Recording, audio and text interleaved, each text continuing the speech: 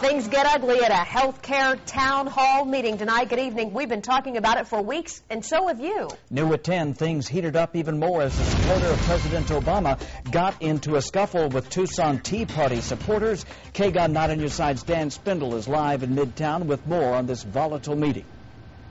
Yeah, Guy and Jennifer, fireworks here at Rincon High School tonight. We're talking, we're not talking about on the football field, but over there in the auditorium, the Tucson Tea Party meeting. We'll get to that in just a moment. First, I want to show you this taking place tomorrow at Congressman Grijalva's office, a breakfast rally in favor of health care reform, not officially sponsored by the congressman himself, but that should bring folks out in favor of the government option. Tonight, that was not the case. Members of the Tea Party and their supporters, the meeting getting very tense at times. It began peacefully enough. Hundreds of members of the Tucson Tea Party and supporters gathering to talk about health care reform. I don't want the government deciding what's best for me and for my family. But that all changed when a man who entered carrying a sign in support of a government option shouted above the presenter on stage.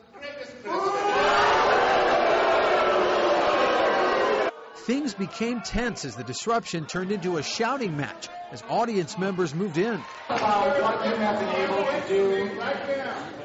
Hey, shut up! The words turned physical when the man threw an elbow. He told us an audience member threatened him before he was asked to leave and escorted out by police. There was one white angry mob in there. I'm the mob. Do I look like the mob?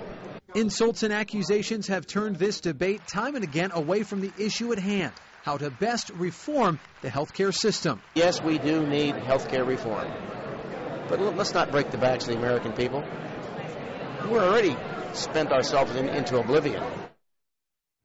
You know, we want to mention that the rest of the meeting that we were there for was relatively peaceful. A lot of uh, excitement going on early on in the meeting, however. And Mr. Chavez's claim that that was a white, angry mob, all whites in the crowd, he told us that was not the case, as you saw from our video. Several ethnicities represented in this crowd. But as we said, the issue of health care reform, a hot button issue